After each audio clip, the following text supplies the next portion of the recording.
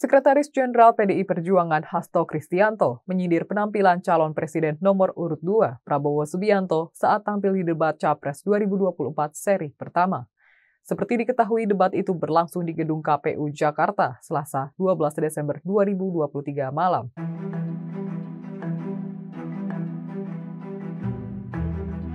Penampilan Prabowo yang mudah tersulut emosi dan meledak-ledak saat menyampaikan artikulasi pesannya ke audiens dan lawan bicara dinilai membuatnya gagal meniru gaya Jokowi di debat Capres.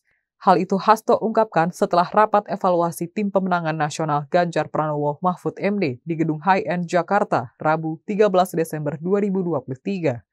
Hasto mengatakan oleh tim suksesnya di tim kampanye nasional, Prabowo Subianto ingin dikesankan atau didesain tampil sebagai sosok seperti Jokowi.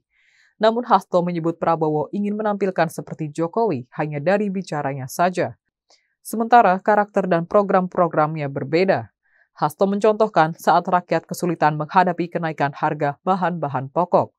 Menurutnya, kalau Jokowi, solusinya langsung turun ke lapangan – Sedangkan Prabowo malah memprioritaskan pengadaan alat utama sistem persenjataan atau alutsista uang berakibat adanya utang luar negeri. Sekretaris Tim Pemenangan Nasional Ganjar Mahfud ini pun optimis terlebih pasangan jagoannya menampilkan jati diri yang asli. Hasto menjelaskan pada Pilpres 2014 lalu, Jokowi mampu mengalahkan Prabowo pada Hamin 16. Maka dengan sisa waktu sekitar 60 hari ke depan, TPN akan bergerak lewat darat, udara, dan spiritualitas. Jangan lupa follow, like, dan subscribe sosial media Tribun Jateng. Download Tribun X sekarang. Menghadirkan lokal menjadi Indonesia.